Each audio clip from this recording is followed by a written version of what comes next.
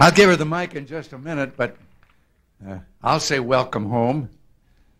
And uh, in view of all this, I'm trying to see if I can't scare up a little something that I could stay in the hospital for.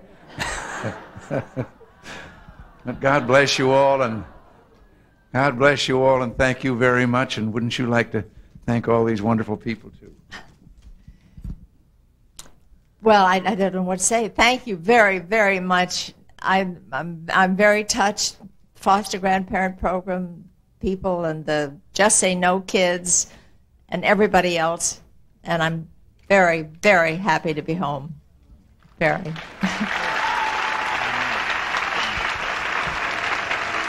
Well,